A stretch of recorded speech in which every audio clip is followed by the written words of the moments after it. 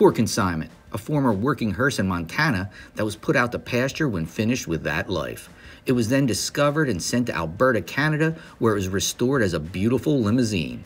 It now has back seating for five, party lights, USB ports, and two stereos. It then went to New Jersey, where the engine was changed to a 350 cubic inch V8 and became the star of parades and events as the Halloween hearse. Scary silver paint that shines like a crazy diamond now bathes the miles of rust free steel covering the body. Pontoon front fenders and rounded back fenders are on either end of the four doors, which include rear suicide doors for easy entry to start partying.